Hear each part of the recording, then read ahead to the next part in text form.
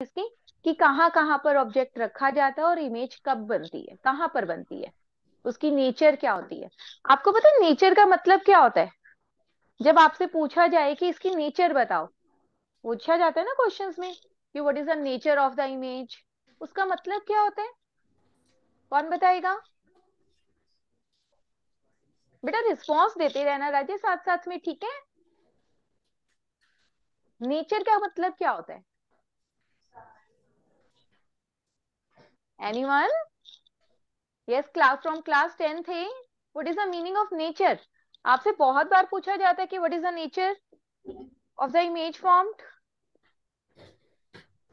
पूछा जाता है ना? तो क्या बताते हैं उसके अंदर? यस या तो इमेज रियल एंड इन्वर्टेड होगी या इमेज क्या होगी? Virtual and this is the nature of the image form ठीक है बेटा? तो अब हम सीधा क्वेश्चंस पर आते हैं। वन बाय वन क्वेश्चंस देखते हैं, क्या कह रहा है क्वेश्चन अकॉर्डिंगली हम स्टार्ट करेंगे। अगर कहीं पे डाउट होगा तो हम रे डायग्राम साथ के साथ रिवाइज कर लेंगे। ठीक है जी? चलिए। सो बेटा look at your first question किसी को कोई डाउट है रे डायग्राम से related want to ask any question you can ask बच्चा। अगर आपको लगता है कुछ पूछने वाला है। अच्छा चलिए पहले थोड़ा सा एक चीज़ बताइए मुझे। चलिए।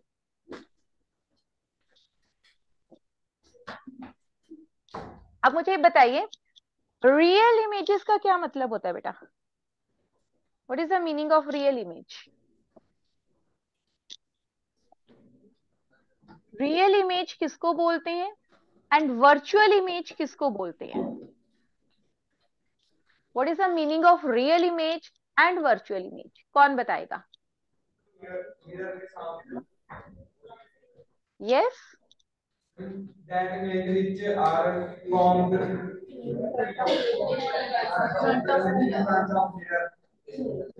कौन बोल रही है जस्ट रेज योर हैंड हाँ खड़े होके बोलो जरा एक बार. The which uh, formed in front of mirror these are uh, these images are formed in front of mirror okay very good and virtual images are formed always behind the mirror ठीक है एक तो difference इनमें ये हो गया कि real images are formed in front of the mirror ठीक है और वर्चुअल इमेजेस कहाँ बनती है बेटा? ठीक है? तो जो हमारा प्लेन मिरर है, वो रियल इमेज बनाता है या वर्चुअल इमेज बनाता है? Yes yes? जो हमारा प्लेन मिरर है, जिसमें हम खड़े होकर अपनी कॉम करते हैं, अपने आप को देखते हैं, वो वाला मिरर प्लेन मिरर वो कौन सी इमेज बनाता है? वो प्लेन वो वर्चुअल इमेज बनाता है है ना? वो कैसी इमेज होती है? वर्चुअल क्योंकि वो मिरर जो है बिहाइंड द मिरर इमेज बन रही है। क्या आप उस इमेज को टच कर सकते हो? क्या आप उस इमेज को टच कर सकते हो? नहीं कर सकते ना? आप टच करोगे तो मिरर को टच करोगे। इमेज को टच थोड़ी कर सकते हो है ना? ठीक है? और दूसरा इसमें क्या डिफरेंस होते हैं? सेकेंड डिफरेंस क्या होता है बेटा इसके अंदर? कि जो रियल इमेज है are obtained on the screen ठीक है? इनको हम स्क्रीन पर ऑप्टेन कर सकते हैं। Are obtained on the screen screen बेटा स्क्रीन कोई स्पेशल चीज़ नहीं होती है। स्क्रीन कुछ भी हो सकता है। एक वॉल भी स्क्रीन हो सकते हैं। एक आपका पेपर भी स्क्रीन हो सकता है। आपका हाथ भी स्क्रीन हो सकता है। ठीक है हाथ के ऊपर भी अगर आपको इमेज ले रहे हो तो आपका हाथ को भी हम उस टाइम स्क्रीन ही बोलेंगे। ये स्क्रीन है हमारी। ठीक है? तो स्क्रीन को अलग से कोई पर्दा पुर्दा नहीं लगा रखा कि उसी को हम स्क्रीन बोलेंगे। Right right? और जो वर्चुअल इमेजेस है they are not they are not obtain ठीक है बेटा ये तो आप सबको क्लियर है। अब ये कोई एग्ज़ाम्पल है? They are not obtained on the screen आप प्लेन मिरर के सामने खड़े हो आप कुछ हाथ में लेकर पेपर लेकर खड़े हो जाओ इस तरीके से। आपने क्या आपको अपनी इमेज इस पेपर पर दिखेगी? नहीं। नहीं ऑप्टेन हो रही है? इट मीन जो मैंने पेपर लिया कहीं पे भी ऊपर नीचे सेट करो इसको कि कहीं तो इमेज दिखे। नहीं दिखेगी ना? बताओ। नहीं। इवन आप एक कैंडल लेकर खड़े हो कैंडल की इमेज भी आपको पेपर पर नहीं दिखने वाली प्लेन मिरर के केस में। अगर एक सिंगल प्लेन मिरर है, ठीक है, यहाँ पे हम नंबर ऑफ़ प्लेन मिरर्स की बात नहीं कर रहे, वो केस ऑफ़ केस थोड़ा डिफरेंट हो जाएगा। ठीक है तो जो इमेज स्क्रीन पर ऑप्टेन नहीं हो सकती, उनको भी हम क्या बोलते हैं? वर्चुअल इमेज ठीक है बेटा these are two major differences between real images and virtual images अब मुझे ये बताइए इनवर्टेड का क्या मतलब है? What is the meaning of inverted and what is the meaning of erect? चलिए। इन्वर्टेड मीन्स उल्टा, है ना?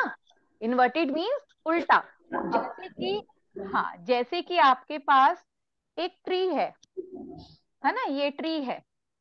और जो इसकी इमेज बन रही है, वो कैसी बन रही है? कैसी दिख रही है आपको इमेज ऐसे। ठीक है? समझ आया? उल्टी इमेज दिखे।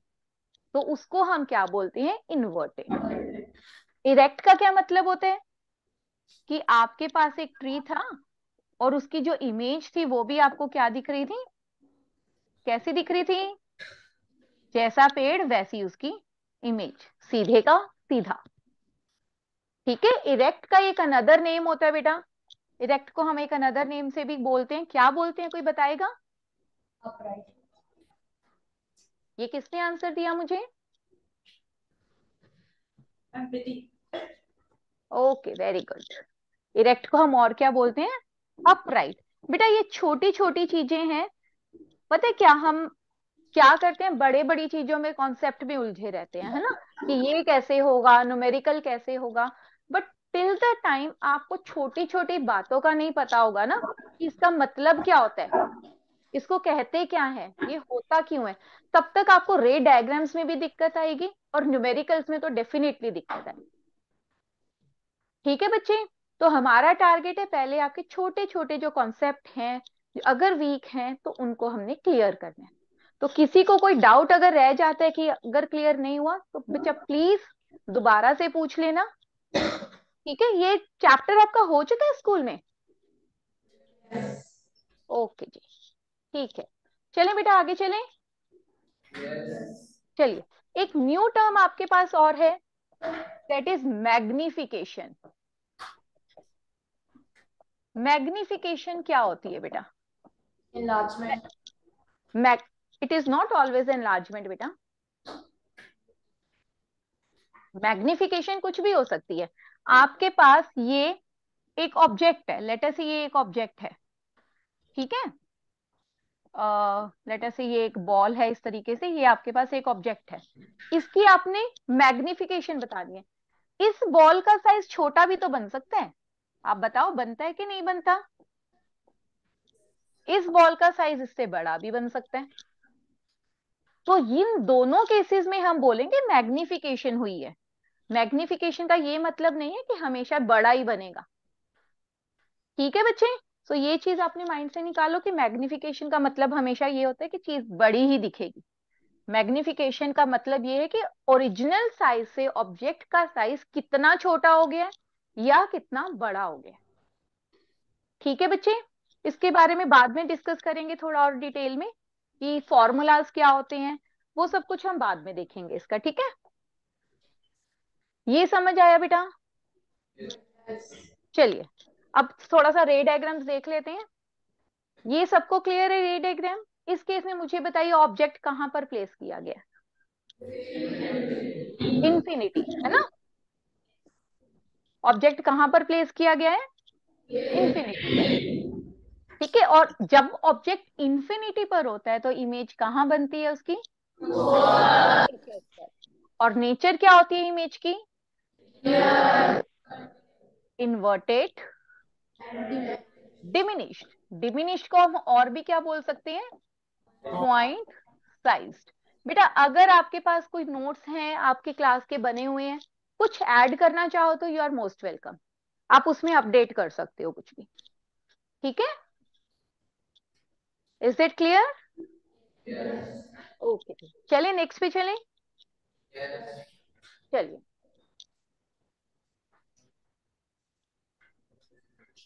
हाँ जी नेक्स्ट क्या आ गया आपके पास? ऑब्जेक्ट कहाँ पर रखा गया है?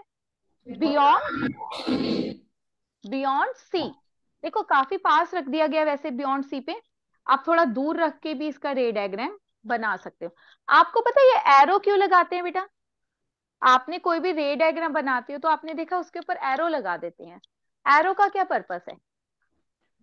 एक सीधी लाइन लगाकर भी तो छोड़ सकते हैं हम। कोई माइक के पास आकर बोलो, बेटा, कौन आंसर कर रहा है मुझे? किसने आंसर दिया? आई थिंक ठीक बोल रहे हो, पास आ जाओ। Arrow signifies the head of the object. Yes ठीक है? अभी देखो, हमने पीछे एक ट्री बनाया था। अब हम ऑब्जेक्ट प्लॉट करके तो यहाँ नहीं दिखा सकते। हम सिर्फ़ ये दिखाते हैं कि ये ऑब्जेक्ट सीधा रखा गया है। ठीक है? इस ट्री के लिए हम एरो बनाते हैं ऊपर की तरफ़। जब इस ट्री की इमेज इस तरीके से बनेगी तो इसके लिए एरो बनेगा डाउनवर्ड ठीक है? तो ये एरो रिप्रेजेंट क्या कर रहा है?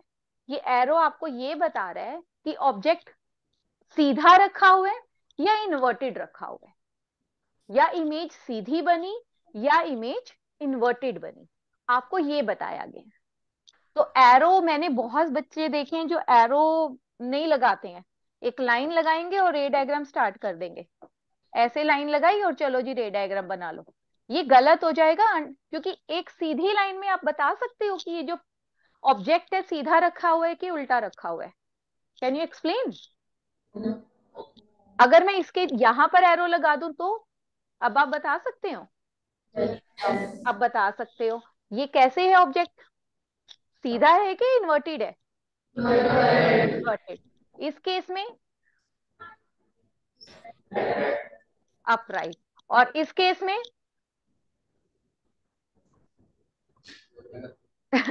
मतलब हमारे डायरेक्शन बता रहे हैं। मतलब ये एरो हमें डायरेक्शन भी बताता है। ठीक है? ओके जी। तो ये क्लियर बियॉन्ड सी अगर ऑब्जेक्ट रखा जाता है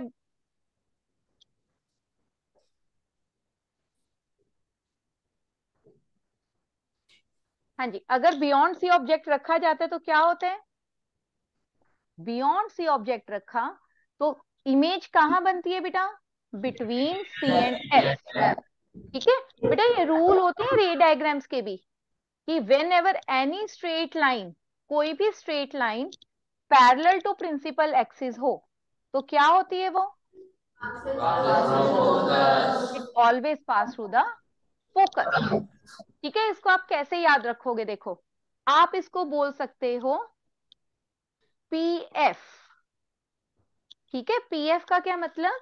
Any line which passes through which is parallel to the principal axis after reflection reflection हुई it will pass through the focus ठीक है बच्चे रख सकते हो याद ठीक है सेकंड रूल हमारा होता है एफ़ पी रूल कि जब भी कोई रे फोकस से पास करेगी after that it will become parallel to the principal axis. ठीक है? इतना तो डिफ़िकल्ट नहीं है ये चीज़ें तो याद रखी जा सकती हैं।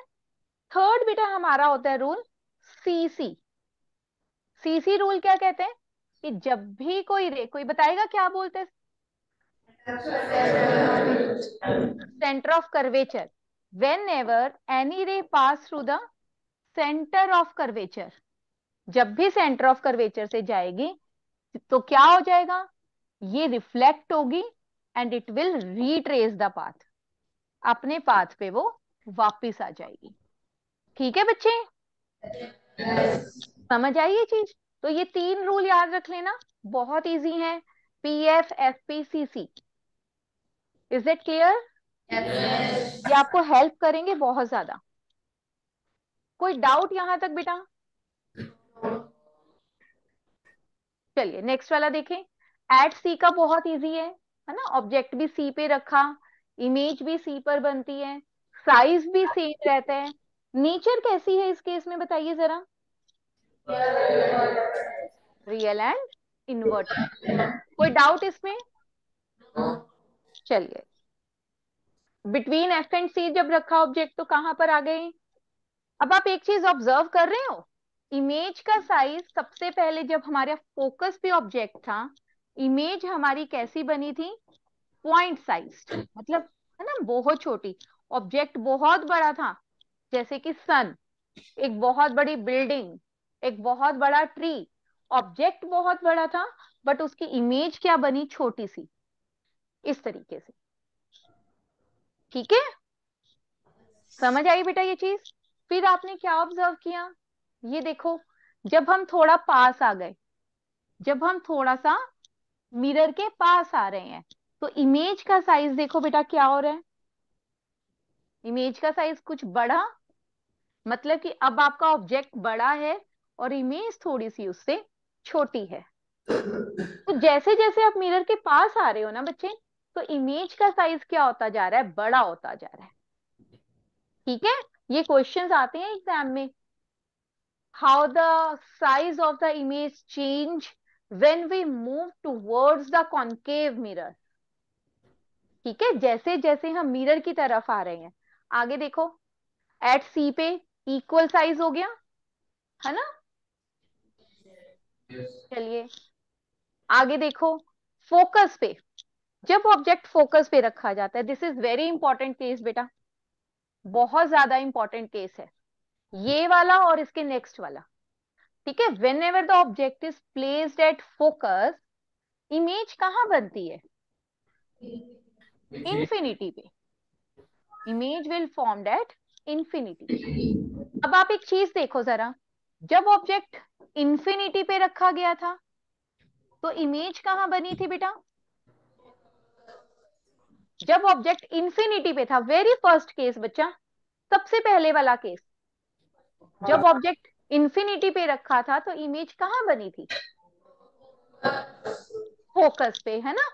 ध्यान रखो बेटा थोड़ा सा एंड जब ऑब्जेक्ट फोकस पे रखा गया तो उसकी इमेज कहाँ बनी? इंफिनिटी पे। राइट right, बेटा? Yes. कोई दिक्कत कोई समझ आया यहाँ तक? Yes. चलिए। तो यहाँ पे ये बहुत इंपॉर्टेंट केस है कि इसमें न्यूमेरिकल भी कई बार आता है। सेम बेसिस पर आपका ऑब्जेक्ट फोकस पर है, ठीक है? और इमेज पूछते हैं कहाँ बन रही है। मे बी अगर आज टाइम बचा तो एक न्यूमेरिकल करेंगे इसके साथ का। ठीक है जी? Next case again very important case बेटा। ठीक है? Very important case when the object is place between F and C ये गलत बना हुआ है। नहीं नहीं, ठीक है। एफ़ एंड सी के बीच में रखा गया ना यहाँ पे? ये रखा हुआ। ठीक है? तो इमेज कहाँ बन रही है? हाँ जी। बियॉन्ड सी नेचर कैसी बन रही है? रियल इन्वर्टेड देखो, अब तक जितने भी हमने रे डायग्राम्स किए, सबके अंदर नेचर थी रियल इन्वर्टेड ठीक है बेटा? समझ आ गया ये? आगे देखते हैं एक बार। आगे देखिए again when the object is placed at focus वाला हमने कर लिया between F and C when the is placed between F and P यहाँ पे रखा गया ऑब्जेक्ट एफ़ एंड पी के बीच में. इस केस में देखो, अभी तक जितनी इमेजेस बनी, सब कहाँ बन रही थी? In front of the mirror ये मिरर था आपका, और जो भी इमेजेस बनी, सब कहाँ बनी?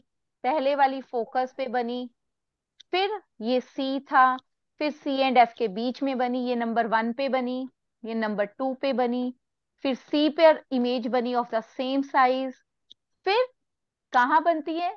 बियॉन्ड सी बनती है फोर्थ केस फिर लास्ट केस हमारा बनता है इंफिनिटी पर।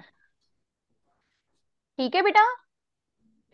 इज़ द फिफ्थ केस अब सभी केसेस में देखो one two three four five हर एक केस में जो इमेज बन रही है हमारी in front of the mirror बन रही है। तो अभी हमने सबसे पहले रियल इमेजेस की डेफिनेशन क्या की थी? कि real images are formed in front of the mirror किया था? तो देखो, ये सारी इमेजेस मिरर के सामने है। तो इन सबकी नेचर क्या रहने वाली है? रियल एंड इन्वर्टेड राइट बेटा?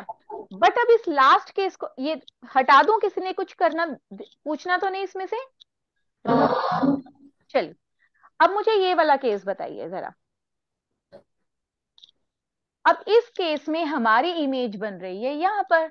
ये in front of the mirror है या back side of the mirror है? अगर बैक साइड पे है तो नेचर क्या हो जाएगी बेटा? वर्चुअल ऑब्जेक्ट हमारा इस साइज़ का है। इमेज मेरी किस साइज़ की है? देखो जरा इमेज मेरी इस साइज़ की है। तो साइज़ बड़ा लग रहा है इमेज का या नहीं लग रहा? Yes. लग रहा है। तो साइज़ को हम बड़ा है तो उसको क्या लिख सकते हैं? Size is and last. लिख सकते हो? Yes. चलिए। और थर्ड वर्ड इसमें आया है इरेक्ट। इरेक्ट का क्या मतलब है? Obtain no screen. इरेक्ट का क्या मतलब है? नहीं वो बेटा वर्चुअल का होता है। Can not be obtained on screen means virtual erect का मीनिंग क्या है? जस्ट रेज योर हैंड्स कौन बताएगा?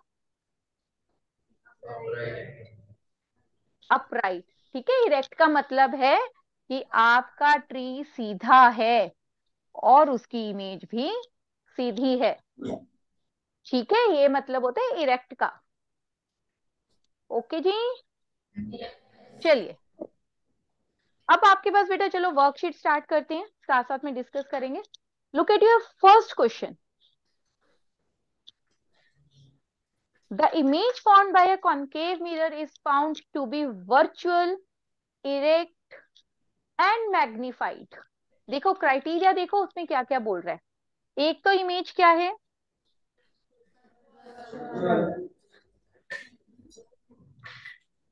इमेज क्या है एक तो आपकी? वर्चुअल है दूसरा क्या कह रहे हैं वो? इरेक्ट भी है। पहले तो मुझे यही दो सिचुएशन बताइए। मिरर कौन सा बोल रहे वो? कॉन्केव अब मुझे ये बताओ कॉन्केव मिरर में वर्चुअल इमेज कब बनती है? बिटवीन एफ़ एंड पी देखो लास्ट वाला केस है ना? बिटवीन एफ़ एंड पी और थर्ड वो बोल रहे हैं मैग्निफाइड मैग्निफाइड का मतलब क्या होता है? थोड़ी सी इमेज बड़ी हो चुकी है। ठीक है? इमेज का साइज़ भी बड़ा है। ठीक है? तो थर्ड वो क्या कह रहे हैं? इमेज क्या है? मैग्निफाइड भी है।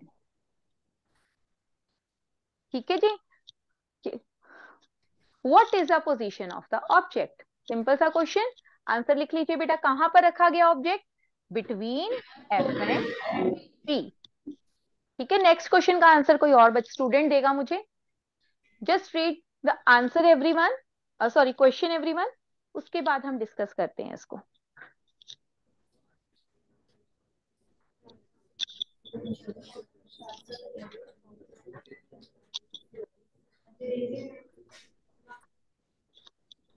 Yes yes? कर लिया बेटा रीड सबने? Yes from ninth B last first row में लास्ट बेंच पे जो स्टूडेंट बैठा है। हाँ, आपके पीछे कौन है मैम है? ओके ओके ओके चलिए बेटा आपने तो पहले भी आंसर दे दिया था। आपके आगे वाले स्टूडेंट को बोल दीजिए। हाँ जी।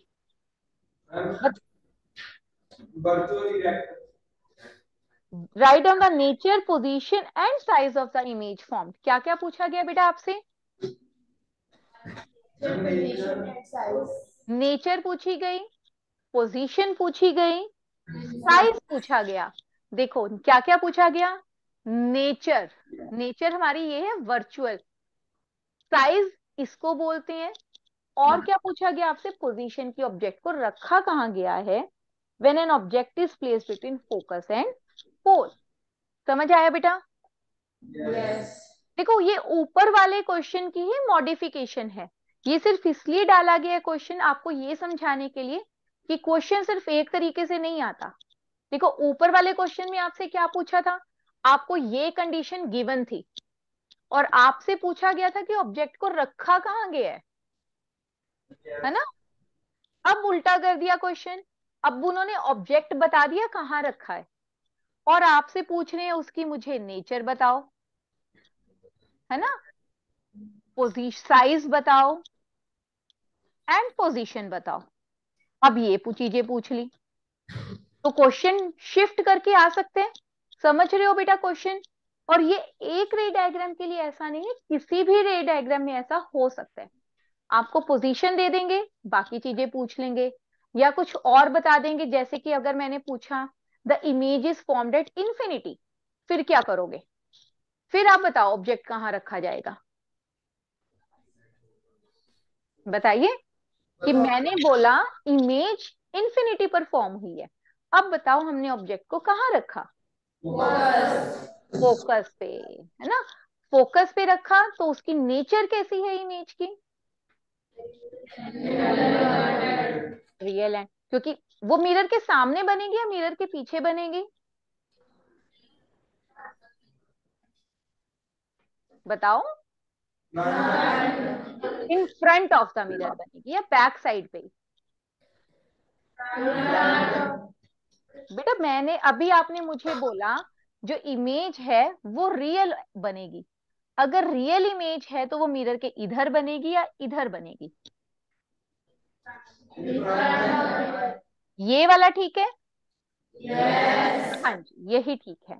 ठीक है तो इमेज कहाँ बनेगी? In front of the mirror. ठीक है? चलिए, अब इसके, इस क्वेश्चन का आंसर लिखो जरा सभी बेटा अपना अपना डू इट फास्ट नेचर बताइए कैसी है इसकी?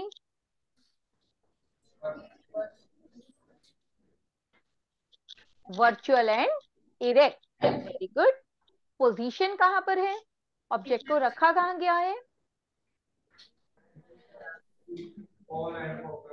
पोल एंड फोकस के बीच में। वेरी गुड और साइज़ क्या होगा? साइज़ हमने मार्क कर रखा है। एंड लास्ट देखो, मैंने तो डायग्राम भी नहीं हटाया आपके लिए। सामने बना पड़ा है सब कुछ। ठीक है? बेटा, इन डायग्राम्स को ना प्रैक्टिस करो। जितना अच्छे से आपको ये डायग्राम आएँगे, उतने स्ट्रॉन्ग आपके न्यूमेरिकल्स होंगे। अगर आप सोचोगे कि रे डायग्राम समझ नहीं आ रहे और सिर्फ़ न्यूमेरिकल्स कर लें तो न्यूमेरिकल्स तो फिर बेटा भूल ही जाओ आप। फिर न्यूमेरिकल्स करने बहुत मुश्किल है। रे डायग्राम की कॉपी बनाओ दिमाग के अंदर कि वहाँ रखा तो ऐसे हुआ, इधर रखा तो साइज़ ऐसे बना इन्फिनिटी पे कब बनता है फोकस पे इमेज कब बनती है मिरर के बिहाइंड कब बनती है in front of the mirror कब बनती है, इन चीज़ों को ना रिकॉल करो एक बार अपने दिमाग में। ठीक है? एक बार अभी करो एक बार घर जाके करना एक बार रात को सोते हुए करना। ये कभी भी नहीं भूलेंगे आपको डायग्राम्स और जितना स्ट्रांगली आपको रे, रे डायग्राम्स आएँगे उतने अच्छे आपके न्यूमेरिकल्स हो जाएँगे। और क्विक भी हो जाएँगे न्यूमेरिकल्स बहुत जल्दी सॉल्व होंगे फिर। ठीक है बच्चे? क्योंकि न्यूमेरिकल्स में दिक्कत कहाँ आती है परेशानी कहाँ आती है? सिर्फ़ साइन कन्वेंशन में। आपको प्लस माइनस अगर आपने एक भी गलत ले लिया तो आपका न्यूमेरिकल वहाँ पर गलत है। है ना बच्चे? Yes. तो ये गलती नहीं करनी हम रे डायग्राम से सीख रहे हैं। ये सब क्लियर हो गया बेटा? चलिए थर्ड क्वेश्चन का आंसर देखिए। अब आपको एक तरीका और मिलेगा इस क्वेश्चन का। देखो जरा।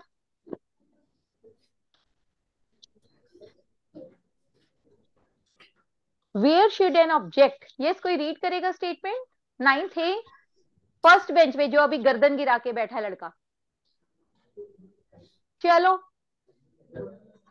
आपके साथ वाला बच्चे स्टूडेंट चलो चलो। आई थिंक यहीं से ऑडिबल हो जाएगा। बेटा, बोलना जरा एक बार।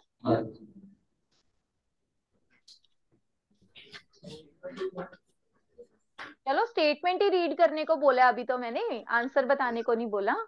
Here should an object be placed in front of concave mirror so as to obtain its magnified erect image. अब चलो मतलब भी समझा दो मैग्निफाइड और इरेक्ट का मतलब क्या होता है बता दीजिए मैग्निफाइड और इरेक्ट का क्या मतलब होता है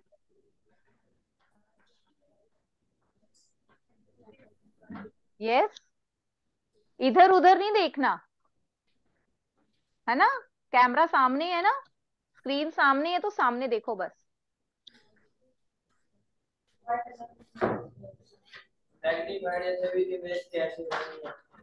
मैग्नीफाइड सॉल्व कर लो, एक मिनट ले लो but I want the answer ले लो ले लो टाइम ले लो, कोई बात नहीं। सब आंसर लिख लो अपना अपना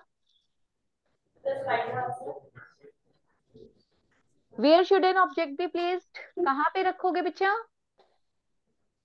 देखो बच्चे सबसे बड़ी बात इरेक्ट इमेज आपको आप देना चाह रहे हो बेटा आंसर आता है आपको?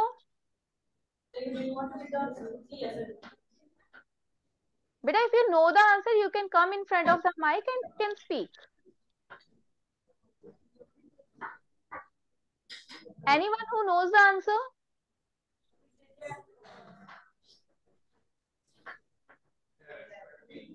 बेटा, ये जो क्लासेस आपकी लग रही है ना these are for your benefits आपका एक्स्ट्रा टाइम लेकर क्लास ली जा रही है बेटा आपकी।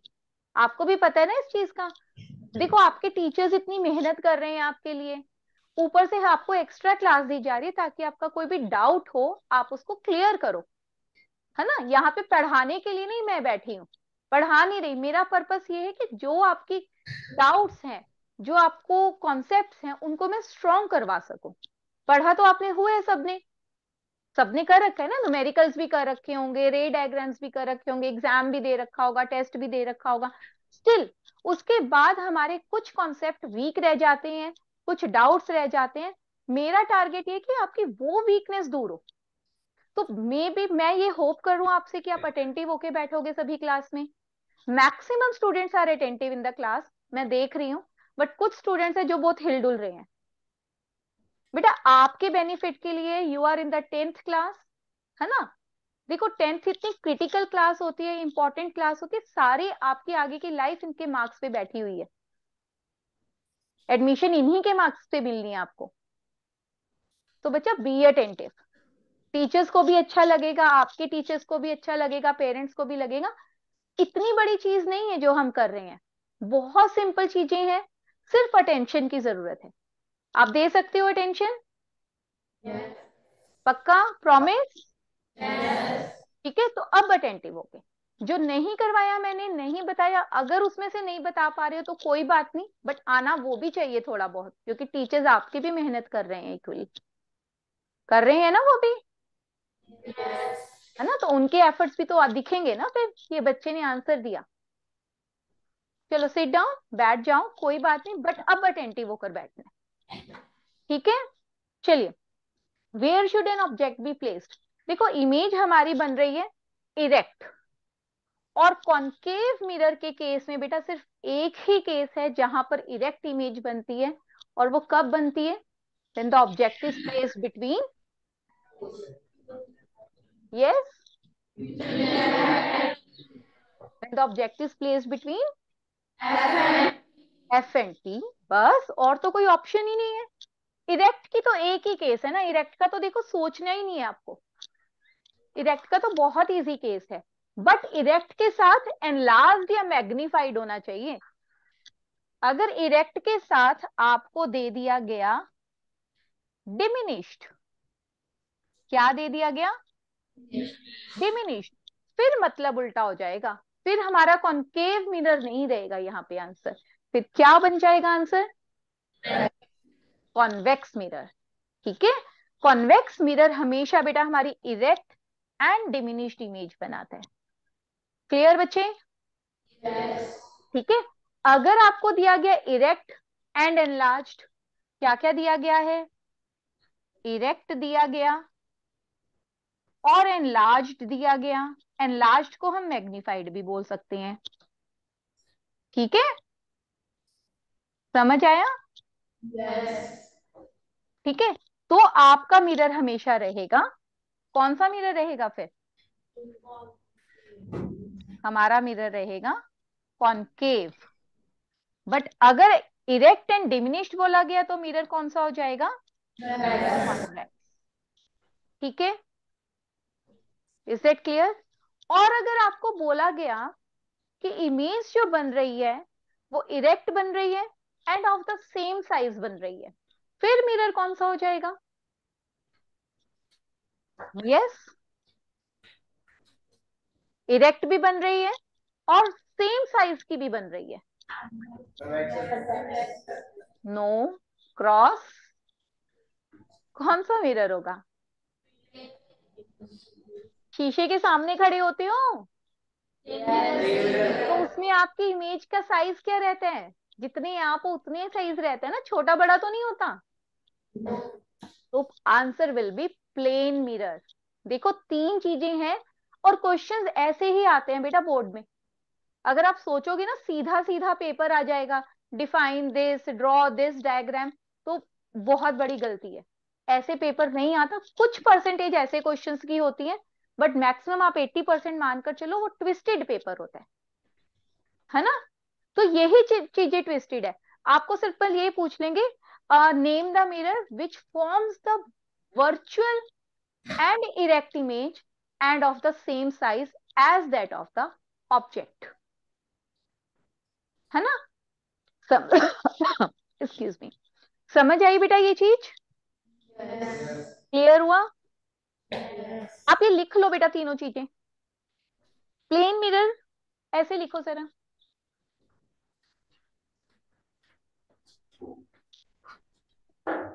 लिखो जरा इसको। प्लेन मिरर यार आदर, आप ऐसे लिखो। मिरर हेडिंग डालो यहाँ पर। Mirror plane concave and convex ठीक है बच्चा? प्लेन मिरर में नेचर कैसी होती है? यस yes, कौन बताएगा प्लेन मिरर की नेचर हम्म प्लेन मिरर में क्या होती है नेचर वर्चुअल स्पेलिंग गलत हो गए थोड़े से।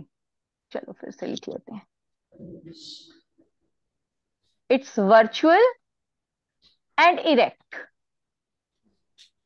ठीक है बच्चे? सेम हमारा जाता है कॉन्वेक्स मिरर के अंदर. वर्चुअल एंड इरेक्ट इन दोनों में डिफरेंस क्या है? अगर दोनों ही वर्चुअल एंड इरेक्ट बना रही है तो दोनों में फ़र्क कहाँ पे है? कहाँ पे डिफरेंस है? डिफरेंस है इनकी हाइट में. हाइट में बोल सकते हो या साइज़ में भी बोल सकते हो. प्लेन मिरर में जो साइज़ बनता है या हाइट बनती है, वो क्या होती है? Same as that of object ठीक है बेटा? ऑब्जेक्ट अब कुछ भी हो सकता है यहाँ पे, है ना? क्या क्या हो सकता है ऑब्जेक्ट में, बताइए मुझे? और कॉन्वेक्स मिरर में साइज़ कैसा रहता है? हाइट कैसी रहती है ऑब्जेक्ट की? कॉन्वेक्स मिरर में अगर ये ऑब्जेक्ट है मेरा तो इसकी हाइट कैसी होगी? ऐसी होगी? no. या ऐसी होगी? ठीक है तो कॉन्वेक्स मिरर में जो हाइट होती है वो स्मॉल होती है। साइज़ ऑफ़ इमेज लिख देते हैं यहाँ पर। ठीक है स्मॉल इन साइज़ चलो ये तो बात हुई हमारी किस किस की? प्लेन मिरर की और कॉन्वेक्स की। अब कॉन्केव मिरर में नेचर क्या होती है बेटा? Yes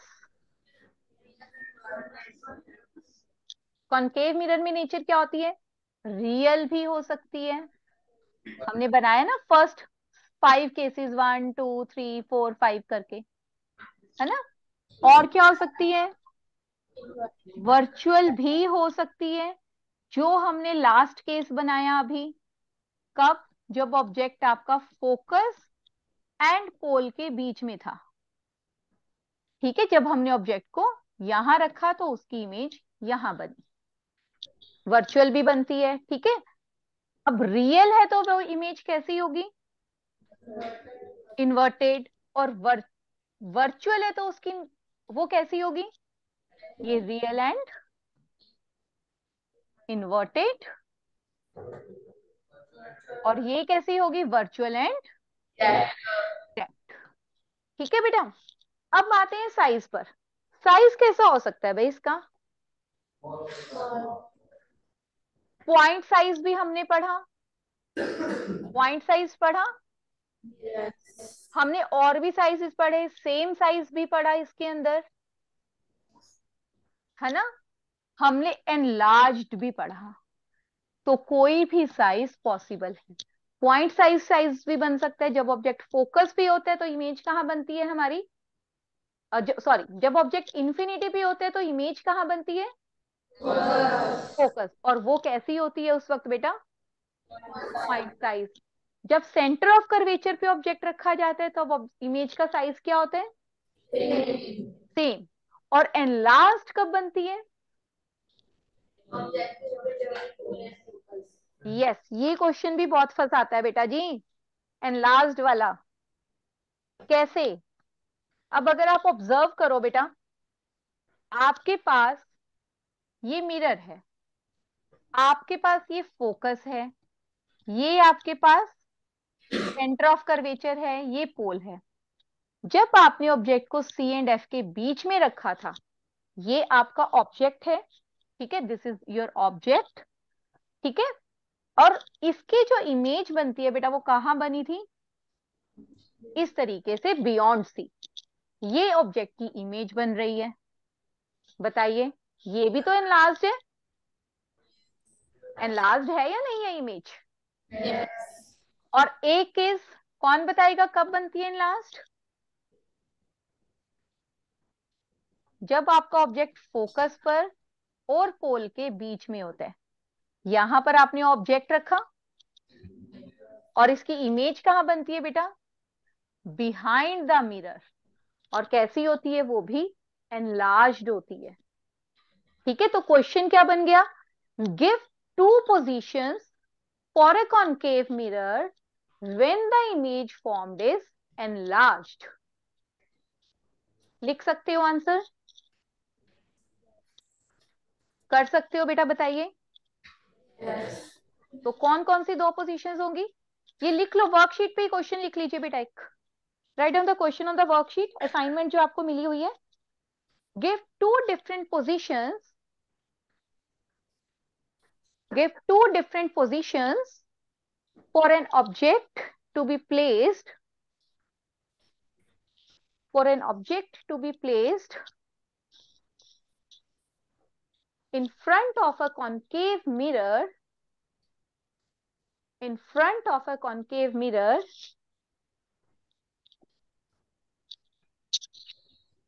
when the image formed is enlarged when the image formed is enlarged.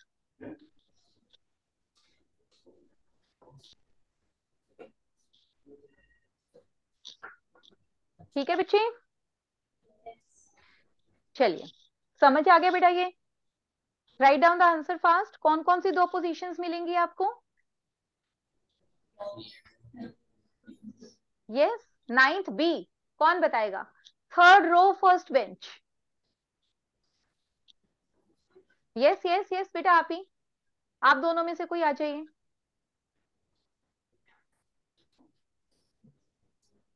First is between F and C हाँ बिल्कुल। Second is between F and F and P very good first and last image बनेगी between F and C और दूसरी बार second and last कब बनेगी? When the object is between F and P ठीक है बेटा? yes. चलिए। Now come to the fourth question read कीजिए जरा जल्दी से। अपना अपना फटाफट रीड कीजिए question fourth question Neha visited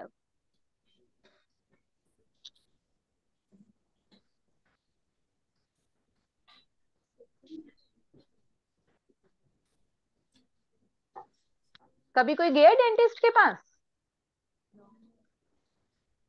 चलो, अच्छी बात है। है ना? डॉक्टर्स के तो दर्शन ही ना हो। चलिए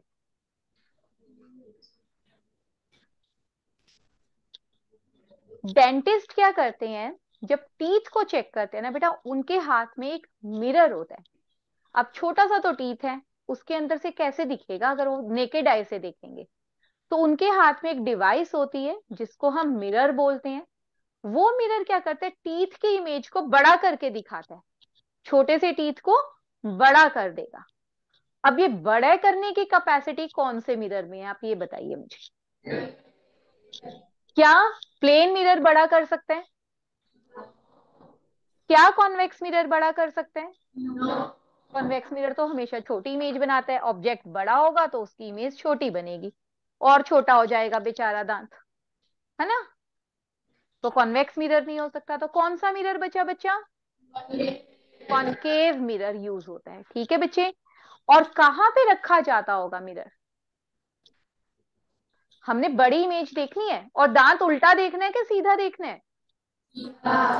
और इरेक्ट इमेज कब बनती है? When the object is place between? कब कब बनती है इरेक्ट इमेज यस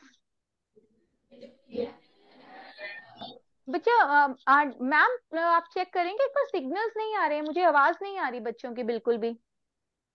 दोनों सेक्शंस में से नहीं आ रही है। मेरी आ रही है बेटा क्लियरली सबको?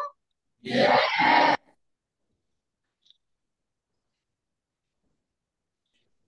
Is it audible now हाँ अभी तो मैम आपकी तो आई है मुझे बहुत क्लियरली ये कौन से सेक्शन के मैम ने पूछा था मुझसे? टेंथ अभी भी क्रैक हो रही है आवाज़। चलो कोई बात नहीं मैम थोड़ा सा मैनेज कर लेते हैं। ठीक है जी? बच्चों को क्लियर सुनना चाहिए सबसे पहले। हाँ जी मैम आ रही है आवाज़। ठीक है जी? चलिए तो कौन सा मिरर यूज़ होगा? कॉनकेव मिरर एंड ऑब्जेक्ट रखा कहा जाएगा बेटा? बिटवीन एफ़ एंड पी बेटा लिख लो। लिख लो वहाँ पे सब कुछ साथ साथ में ठीक है? चलिए next question should be move to the next question चलिए फिफ्थ क्वेश्चन कौन रीड करेगा? टेंथ इज़ मिडिल वाली रो में फ़र्स्ट स्टूडेंट हाँ जी आप आप आप बिल्कुल। रीड कीजिए। The image formed by concave mirror is real, inverted and highly diminished. The object must be हाँ जी highly diminished real and inverted तो अब हमें पता ही है ना कॉन्केव मिरर के सामने इमेज बनेगी तो वो रियल एंड इन्वर्टेड ही होगी। कॉन्सेंट्रेट करो अब हाईली डिमिनिश्ड वर्ड पे। हाईली डिमिनिश्ड का मतलब ऑब्जेक्ट कहाँ पे रखा गया होगा? Highly diminished means point size image point size कब बनती है बेटा? कब बनती है? एट इंफिनिटी राइट बस, ठीक है मार्क कर दो बेटा। Which of the following does not apply to a concave mirror this is a good question concave mirror में से इसमें क्या एप्लीकेबल नहीं है? Yes yes? बताइए।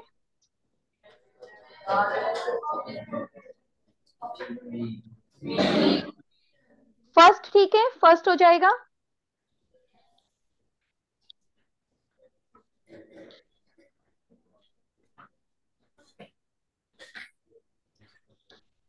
फ़र्स्ट हो जाएगा बेटा? Height of the image can be positive और नेगेटिव पॉसिबल है। देखो कब पॉसिबल है? जब आपके पास लेटर से ये केस देखते हैं। अब इस केस में ऑब्जेक्ट कहाँ रखा गया बेटा आपका? देखिए जरा। बिटवीन सी एंड एफ़ इस केस में जो हाइट है ना बेटा विच इज़ नेगेटिव ठीक है? बट इन दिस केस हाँ जी इन दिस केस ऑब्जेक्ट की जो हाइट है ऑब्जेक्ट क्या है बेटा आपका? देखो अपराइट है। अगर ऑब्जेक्ट अपराइट है तो हाइट क्या होती है? पॉजिटिव ये जब न्यूमेरिकल डिस्कस करेंगे ना बेटा तब करवाऊँगी आपको साइन कन्वेंशन एक बार। ठीक है? तो कॉन्केव मिरर में हाइट पॉजिटिव और नेगेटिव दोनों हो सकती हैं। फिर आते हैं सेकेंड पार्ट पे images image distance is always positive इसको हम होल्ड करते हैं थर्ड पढ़ते हैं एक बार। Image distance can be positive और नेगेटिव देखो, या तो बी गलत होगा या सी गलत होगा। ऊपर कह रहे हैं कि हमेशा पॉजिटिव है ऑलवेज पॉजिटिव नीचे कह रहे हैं कि वो पॉजिटिव भी हो सकता है, वो नेगेटिव भी हो सकता है। How is it possible definitely देखो focal length is always negative this is true क्योंकि फोकस हमेशा in front of the mirror मिलेगा आपको एंड फोकल लेंथ जो होगी वो हमेशा नेगेटिव होगी। ठीक है? तो out of B and C one point is wrong कौन सा रॉन्ग है? जस्ट रेज योर हैंड्स जिसको पता है, जो बता सकता है। Okay okay. यस बेटा, जिसने हैंड रेज किया हुआ टेन थे। हाँ जी हाँ जी, बेटा, आप option B is not correct as the image distance can or be positive and negative. Yes, distances can be positive or negative. बेटा this is image. ठीक है ये हमारी इमेज बनी हुई है इमेज बनी हुई है और इमेज बनी कहाँ हुई है बेटा ये हमारी behind the mirror behind the mirror जो डिस्टेंस होता है वो पॉजिटिव होता है ठीक है बट अगर मैं ये वाला केस देखूँ लेटर से हम ये वाला केस देखें। इसमें केस में जो इमेज आया नहीं। हाँ जी, इस केस में इमेज मेरी कहाँ बनी है बेटा? बताइए, यहाँ पर बनी है। मतलब कि मिरर के सामने। जब मिरर के सामने इमेज बनती है तो वो होती है नेगेटिव ठीक है? तो इमेज जो होती है वो पॉजिटिव और नेगेटिव दोनों हो सकती है हाइट की तरह। ठीक है? It is not always positive so B is the wrong answer चलिए बेटा सेवेंथ पे अगेन वेरी सिंपल क्वेश्चन बताइए। In the given figure the image of spoon में देखिए कभी किसी ने अपनी इमेज एक न्यू फ्रेश स्पून हो आपके पास, अच्छे से पॉलिश्ड हो, उसके अंदर अपने फेस की इमेज देखना, दिखती है, बहुत क्लियरली दिखती है। ठीक है?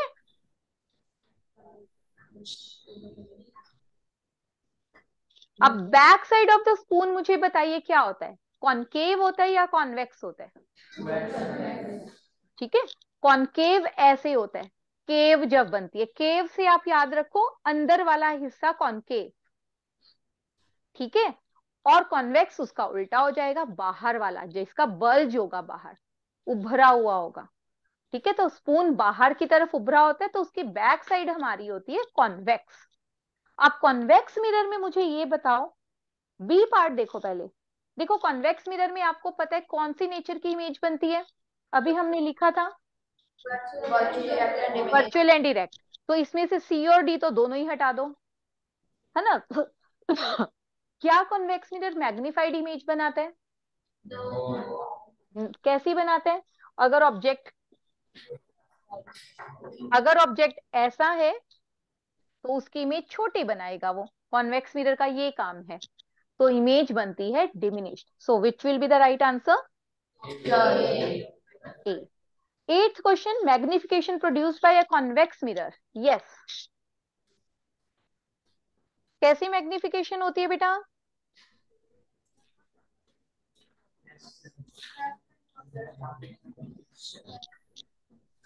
Yes yes. देखो बेटा मैग्निफिकेशन मैग्निफिकेशन हमने देखनी है किस किस की? प्लेन मिरर की. जस्ट मिनट बेटा.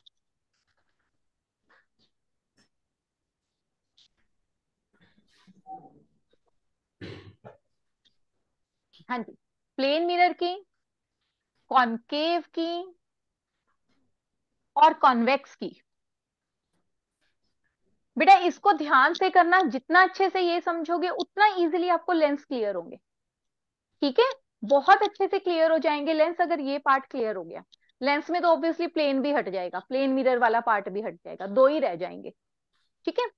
मैग्निफिकेशन ऑफ़ प्लेन मिरर कितनी होती है बेटा? कौन बताएगा?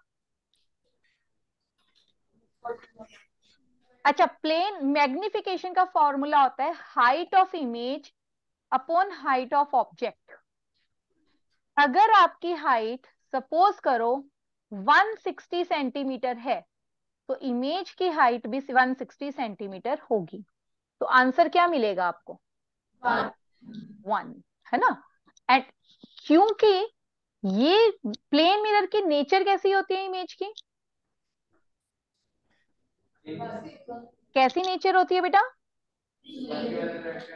ये वर्चुअल मैं वी लिख दू, समझ जाओगे फ़िलहाल के लिए? ठीक है वर्चुअल जब भी वर्चुअल इमेज होती है तो मैग्निफिकेशन हम लगाते हैं पॉजिटिव साइन के साथ. ठीक है बच्चे? क्लियर हुआ? चलिए. कॉन्वेक्स मिरर पर आते हैं बेटा.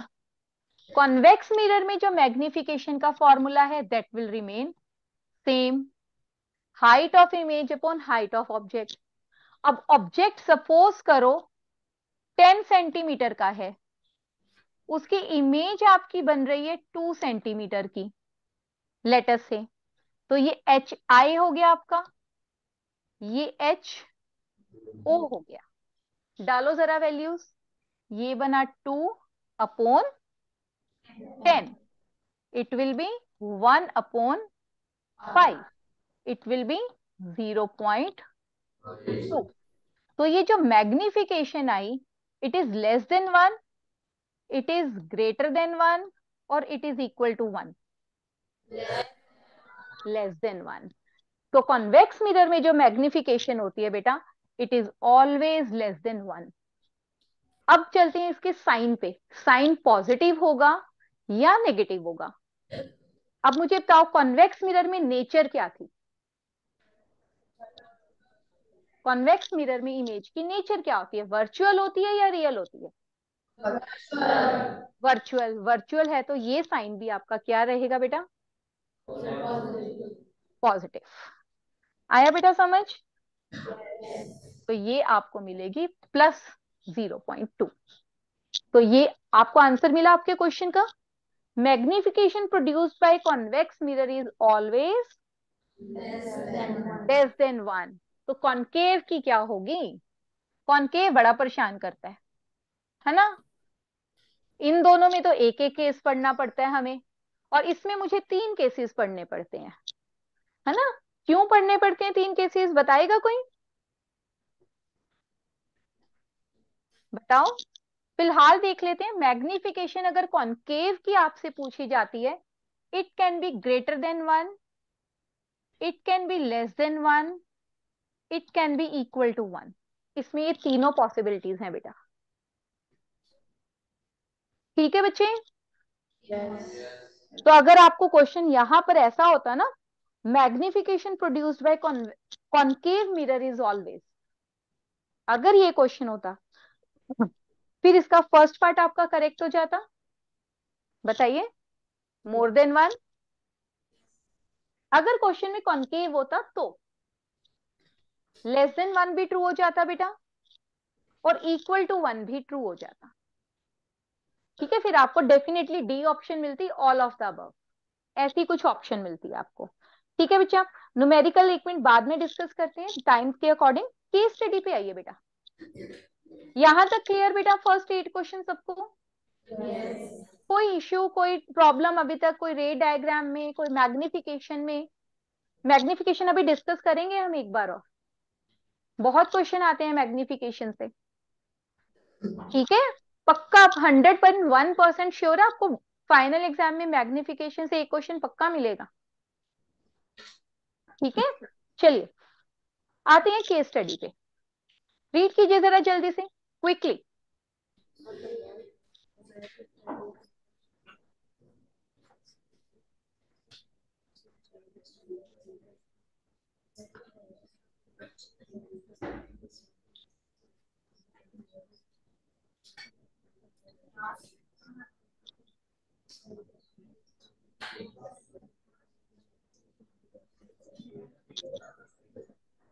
चलिए, समझे? क्या कह रहा है question two big mirrors A and B दो मिरर हैं बेटा। अच्छा एक चीज़ बताओ मुझे पता कैसे चलेगा कि ये मिरर का पॉलिश्ड एंड कौन सा है और अनपॉलिश्ड कौन सा है? जहाँ पर मैंने ये लाइंस लगा दी बेटा ऐसे ऐसे करके। मतलब वो अनपॉलिश्ड साइड होती है। ठीक है बच्चे? मिरर पे आपने देखा होगा ना एक साइड ऑरेंज सी पॉलिश लगी होती है मिरर पे और एक साइड हम जहाँ पर हम अपने आप को देखते हैं है ना? तो पॉलिश साइड को हम रिप्रेजेंट करने के लिए लाइंस लगा देते हैं ऐसे। इज़ इट क्लियर अब कह रहे टू बिग मिरर हमें नहीं पता। एक मिरर ए है एक मिरर बी है और यहाँ पर आ, कोई पर्सन खड़ा है लेटर से ठीक है?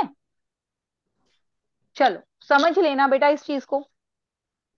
ठीक है? कोई पर्सन खड़ा है? Are fitted side by side on the wall दो कमरे की दीवारें हैं, दो, ये दोनों पे एक एक मिरर लगा दिया गया। A man is standing at such a distance from the wall that he can see the erect image of his face in both the mirror दोनों में इरेक्ट दिख रही है उसको। इस मिरर में भी उसको इरेक्ट दिख रही है। और इस मिरर में भी उसको इरेक्ट दिख रही है। इरेक्ट तो अब सब में बनती है, वो प्लेन मिरर भी हो सकते हैं कॉन्वेक्स भी हो सकते हैं कॉन्केव भी हो सकते हैं, क्योंकि इरेक्ट इमेज तो हमारी तीनों मिरर्स में बनती है राइट right? आगे चलते हैं when the man start walking towards the mirrors he finds that the size of his face in mirror A goes on increasing. जब वो मिरर ए की तरफ़ आ रहा है, किसी भी मिरर की तरफ़ गया, हमें ये नहीं बताया कौन से मिरर की तरफ़ गया बस ये बताया जो उसकी इमेज का साइज़ था, वो मिरर ए में पहले इतना था, फिर इतना हुआ, फिर इतना हुआ साइज़ ऑफ़ इमेज बढ़ता जा रहा है। While but that in mirror B remains the same mirror B में नहीं चेंज हो रहा। मिरर बी में जो साइज़ था उसका पहले उतना ही है। पहले इतना साइज़ था, अभी भी इतना है, अभी भी इतना है और अभी भी इतना है। पहले वो ए मिरर की तरफ़ आया, फिर वो बी मिरर की तरफ़ गया। तो उसने ये चीज़ ऑब्ज़र्व की। अब आप मुझे बता सकते हो मिरर ए कौन सा मिरर होगा बेटा?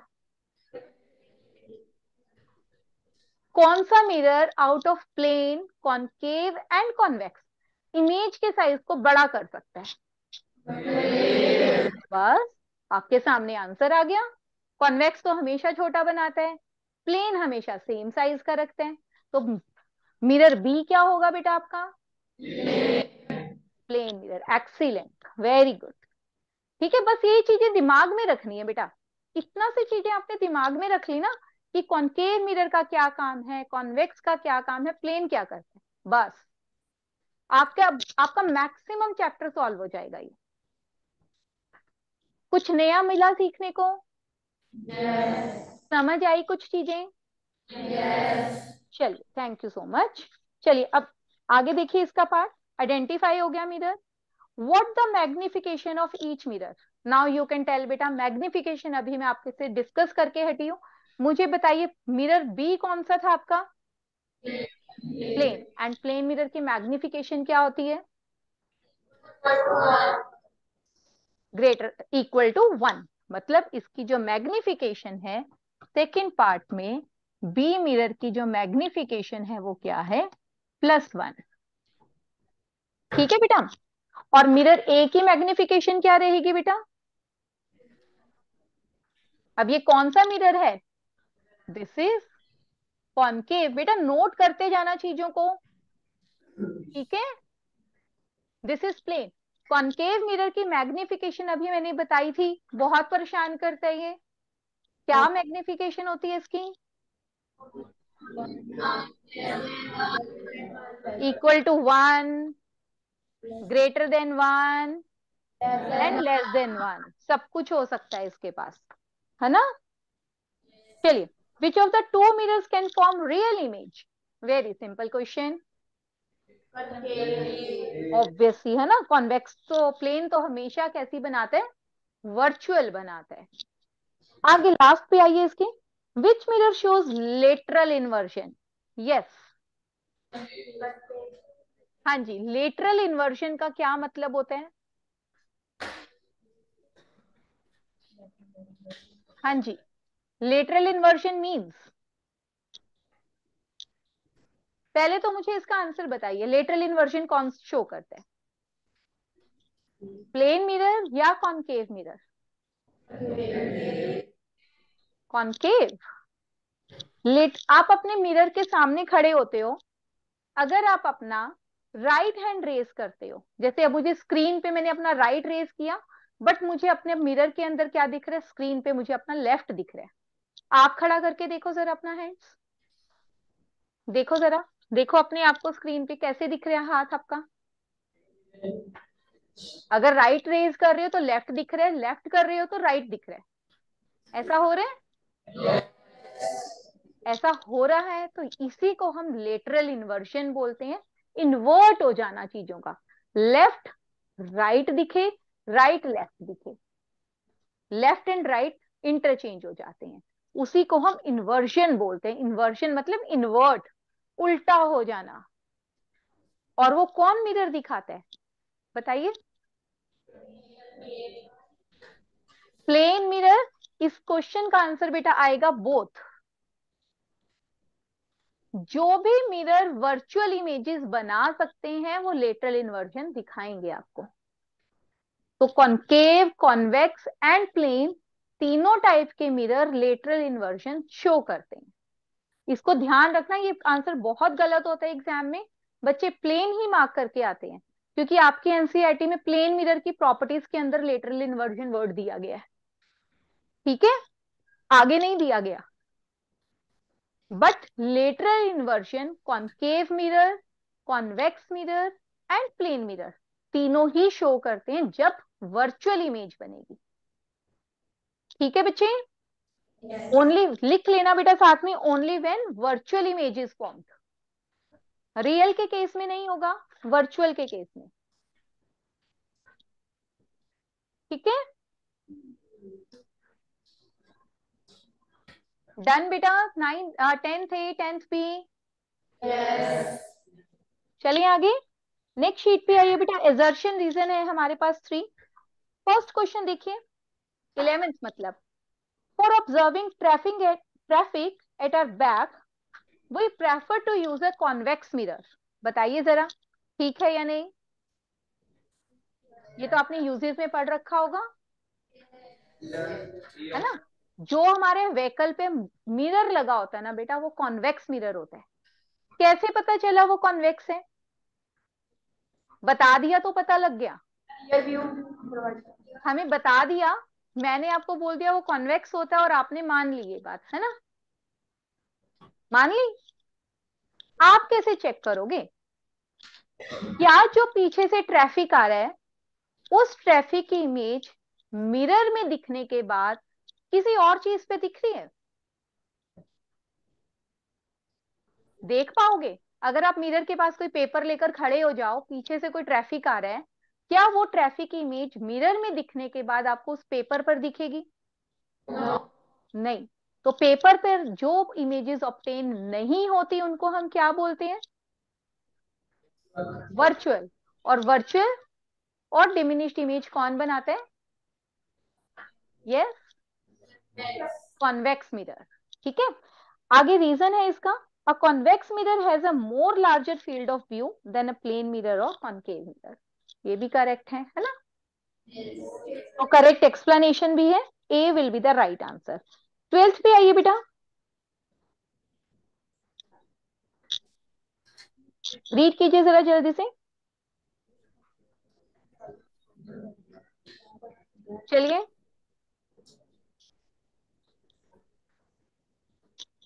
Magnification of a convex mirror is always positive. Is it right? Convex mirror की मैग्निफिकेशन हमेशा पॉजिटिव होती है। याद करो अभी अभी समझाया? पॉजिटिव तो होती है ना। लेस देन वन होती है, वो अलग चीज़ है। मैग्निफिकेशन लेस देन वन होती तो पॉजिटिव है ना, जैसे अभी ज़ीरो पॉइंट टू आंसर आया था हमारा। ठीक है? But that of a concave mirror में भी नेगेटिव और पॉजिटिव ये भी हमने अभी पढ़ा है magnification greater than one less than one कुछ भी हो सकती है। ठीक है?